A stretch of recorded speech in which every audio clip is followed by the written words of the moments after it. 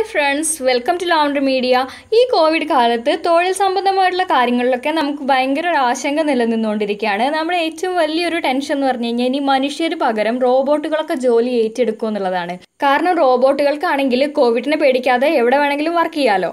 വൈറസുകൾ റോബോട്ടിനെ ബാധിക്കില്ല എന്ന് ഉറപ്പായതുകൊണ്ട് തന്നെ റോബോട്ടുകളുടെയൊക്കെ ഉപയോഗം കൂടും എന്നുള്ള കാര്യം ഉറപ്പാണ്. ഇത് മനുഷ്യരുടെ തൊഴിൽ സാധ്യതകളെ എങ്ങനെയെങ്കിലും ബാധിക്കാൻ സാധ്യതയുണ്ടോ എന്ന് നമുക്ക് നോക്കാം. അതേപോലെ തന്നെ പല ജോലികൾക്കും മനുഷ്യൻ തന്നെ വേണമെന്ന് നിർബന്ധമില്ല എന്നൊക്കെ കോവിഡ് കാലം തെളിയിച്ചു തന്നു.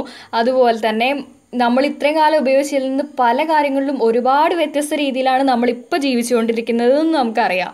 സാമൂഹിക അകലം പാലിക്കാതെ മനുഷ്യന്മാർക്ക് ഇപ്പോൾ ജീവിക്കാനായിട്ട് പറ്റുന്നില്ല. പക്ഷേ റോബോട്ടുകളുടെ കാര്യത്തിൽ ബാധകമല്ലാത്തത് അവയുടെ ഉപയോഗം വളരെയധികം വർദ്ധിപ്പിച്ചിട്ടുമുണ്ട്. ഭക്ഷണ വിതരണം മുതൽ ശുചീകരണം വരെ ഇപ്പോൾ റോബോട്ടുകൾ ഏറ്റെടുത്തിരിക്കുന്ന ഒരു സമയമാണ്.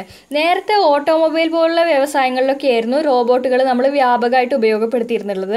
എന്നാൽ കോവിഡ് പശ്ചാത്തലത്തിൽ കമ്പനികളൊക്കെ കൂടുതൽ ജോലികളൊക്കെ റോബോട്ടുകളെ ഏൽപ്പിച്ച് തുടങ്ങിയിട്ടുണ്ട്. ഇതിൽ ഏറ്റവും പ്രധാനമായിട്ട് ക്ലീനിങ് ഒക്കെയാണ്. അതുപോലെ തന്നെ ബിസിനസ് രംഗത്തൊക്കെ അമേരിക്കൻ കമ്പനി വാൾമാർട്ട് തങ്ങളുടെയൊക്കെ റീറ്റെയിൽ ഷോപ്പുകളുടെയൊക്കെ ശുചീകരണമൊക്കെ റോബോട്ടുകളെ ഏൽപ്പിച്ചിട്ടുണ്ട്. അതേപോലെ ചില രാജ്യങ്ങളിലൊക്കെ ആണെങ്കിൽ മനുഷ്യന്മാരുടെ ചൂട് അതായത് ഇപ്പോൾ ചൂട് പരിശോധിക്കണമല്ലോ.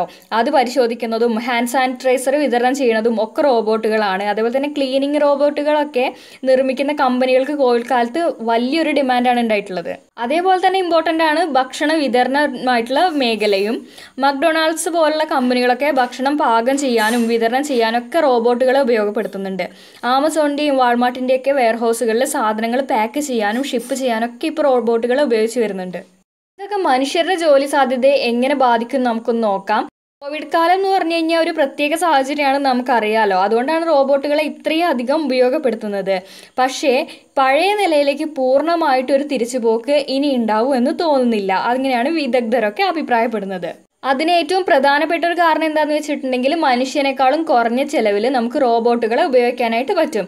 എന്നാൽ ഉപഭോക്താക്കളുമായിട്ടൊക്കെ ബന്ധപ്പെടേണ്ട മേഖലകളിലൊക്കെ മനുഷ്യന്റെ അത്ര വിദഗ്ധമായിട്ട് കൈകാര്യം ചെയ്യാനായിട്ട് ഈ ആർട്ടിഫിഷ്യൽ ഇന്റലിജൻസിനോ റോബോട്ടിനോ ഒന്നും സാധിക്കില്ല. റോബോട്ടുകൾ ചില ജോലികളൊക്കെ ഏറ്റെടുത്താലും മനുഷ്യന് മാത്രം ചെയ്യാൻ സാധിക്കുന്ന ജോലികൾ മറ്റൊരു വശത്ത് ഒരുപാട് കൂടുതലായിട്ട് വരും എന്ന് തന്നെയാണ് പറയുന്നത്. അതുകൊണ്ട് നമ്മളും പേടിക്കേണ്ട ആവശ്യമൊന്നുമില്ല.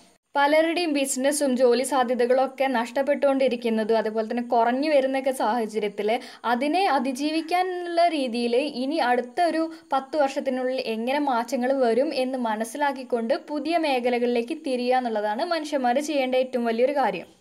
കോവിഡിനെ നമുക്ക് എല്ലാ അർത്ഥത്തിലും അതിജീവിക്കാൻ കഴിയുമെന്ന് തന്നെയുള്ള പ്രതീക്ഷയോടെ ഇന്നത്തെ വീഡിയോ അവസാനിപ്പിക്കുകയാണ്. അപ്പോൾ ഇന്നത്തെ വീഡിയോ എല്ലാവർക്കും ഇഷ്ടപ്പെട്ടിട്ടുണ്ടാവും എന്ന് വിചാരിക്കുന്നു. ഇനി ഇതുപോലുള്ള നല്ല ടോപ്പിക്സുമായിട്ട് അടുത്ത വീഡിയോയിൽ വീണ്ടും കാണാം.